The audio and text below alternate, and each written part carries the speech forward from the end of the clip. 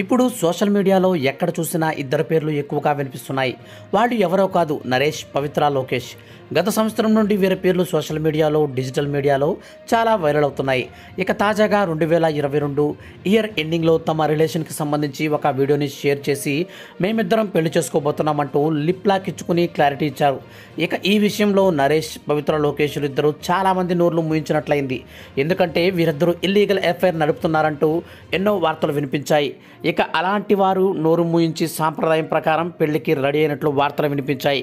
అయితే ఈ నేపథ్యంలోనే మహేష్ బాబు గురించి ఒక వార్త సోషల్ మీడియాలో హల్చల్ చేస్తుంది. అదేమిటంటే నరేష్ పవిత్ర లోకేష్ల పెళ్ళి విషయంలో మహేష్ బాబు అన్ని విషయాలు చర్చిస్తున్నారని అలాగే రమ్యతో అధికారికంగా విడాకులు వచ్చాక పవిత్ర లోకేష్ని పెళ్ళి చేసుకోవడంలో తనకు ఏమీ అభ్యంతరం లేదని మహేష్ బాబు చెప్పినట్లు సోషల్ మీడియాలో కొన్ని వార్తలు వస్తున్నాయి. అయితే ప్రస్తుతం కృష్ణాగారు లేనందువల్ల మహేష్ బాబు తన ఫ్యామిలీకి చోదోడు వాదోడుగా ఉంటున్నారు. కాబట్టి ఈ విషయంలో మహేష్ బాబు ఒక అడుగు ముందుకేస్తే వాళ్ళిద్దరూ పెళ్ళి చేసుకుంటారని కొంతమంది మాట్లాడుకుంటున్నారు. అలాగే కొంతమంది గట్టమనేని అభిమానులు మాత్రం మహేష్ తలుచుకుంటే నరేష్ ఓ ఇంటివాడవుతాడని కామెంట్స్ కూడా చేస్తున్నారు.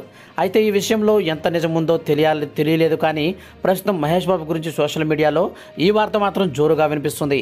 ఇంతకీ నరేష్ యొక్క పవిత్ర ఎవరైతే ఉన్నారో వాళ్ళిద్దరూ పెళ్ళి చేసుకుంటారా లేదా అనే దానికి సంబంధించి మహేష్ బాబు ప్రమేయం మీరు ఉందంటారా లేదా లేదంటారా ఏది ఏమైనా మీ యొక్క ఒపీనియన్ని కామెంట్ సెక్షన్లో నోట్ చేయడం మర్చిపోకండి.